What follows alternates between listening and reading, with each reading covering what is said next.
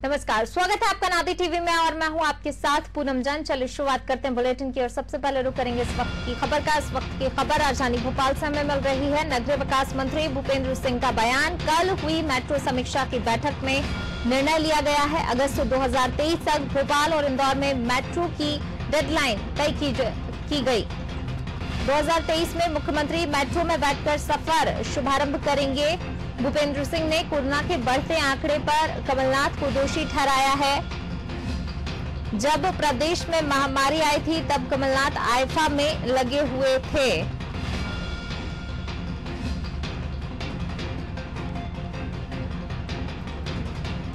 हमारी सरकार लगातार महामारी को रोकने का प्रयास कर रही है। शिवराज कोरोना संक्रमित होने के बावजूद प्रतिदिन दो घंटे कोरोना की समीक्षा कर रहे थे। आज भी चार बजे कोरोना समीक्षा में इलाज के लिए विशेषज्ञों को जोड़ा जाएगा।